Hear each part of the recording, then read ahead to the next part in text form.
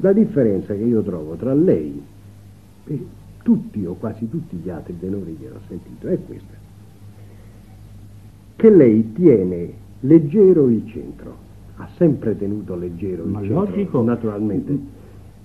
No, guardi che to- eh, Eh, Cotogni mi diceva, allerta eh, non caricate i centri, nei centri Ecco. si canta ma si risolve negli acuti, Ecco. perché la caratteristica del baritono è il centro, del tenore l'acuto e del basso grave, da voci gravi e per il basso.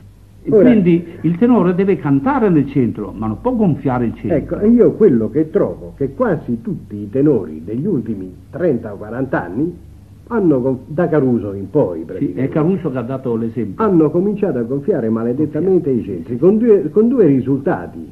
Uno, anzi diciamo con tre risultati, che nei centri spesso sembrano baritoni. Sì, sì. Uno. Secondo, che negli acuti si sgozzano, come dico io, si impiccano. Terzo, che questo sforzo che fanno nei centri e che poi si ripercuote sugli acuti gli impedisce anche di cantare a mezza voce. Ma naturale, per forza. Innanzitutto, il canto è alito vibrante.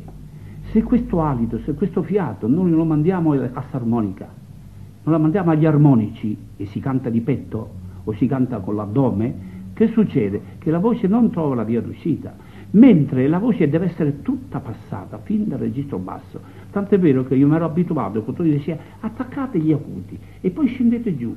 Con la stessa emissione, emissione dell'acuto scendete giù all'ottava bassa e voi troverete il punto d'appoggio.